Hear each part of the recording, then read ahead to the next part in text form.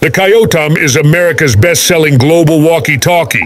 Not only can it talk from New York to Los Angeles, but it can also talk to 172 countries with no monthly fees, making it the most popular walkie talkie on